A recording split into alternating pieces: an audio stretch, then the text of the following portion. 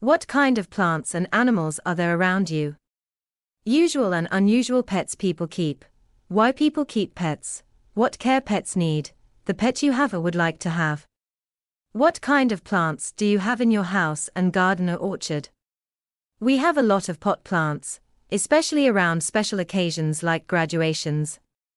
Our garden is full of pine trees and rose, thuya, and lilac bushes. We have huge flower beds in front of the house with lots of marigolds, tulips, and lilies. What kinds of vegetables and fruits do you grow at home and buy at the market? In our orchard, we have plum, apple, cherry, and sour cherry trees.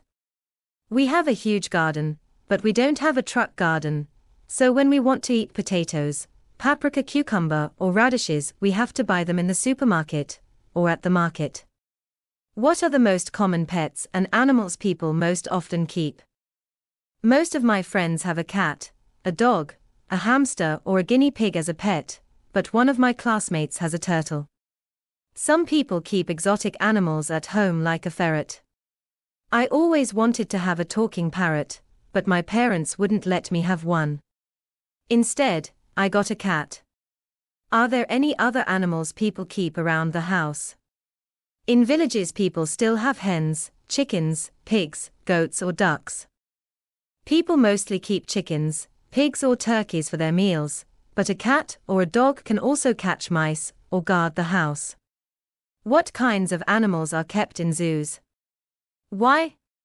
Exotic animals like lions, zebras, polar bears, panthers, and elephants are mostly kept in zoos because they need a special environment and climate, or they are dangerous.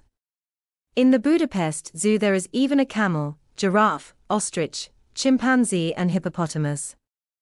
Some people say it is cruel to keep these animals there, but I think it is great experience for children.